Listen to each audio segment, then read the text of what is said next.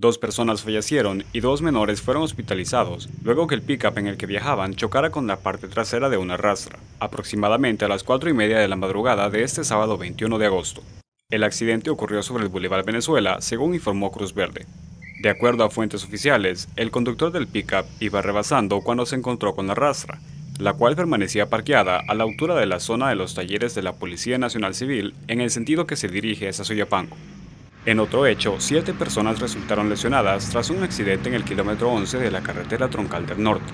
El percance ocurrió entre un microbús de la ruta 109 y un pickup, de acuerdo a comandos del Salvador. Otro percance vial se reportó en el Boulevard San Bartolo en Ilopango, donde una mujer de 40 años resultó lesionada al caer de una motocicleta en la que se conducía de acompañante, al chocar contra una camioneta que les obstruyó el paso cuando realizaba un viraje al salir de la colonia del costado del boulevard.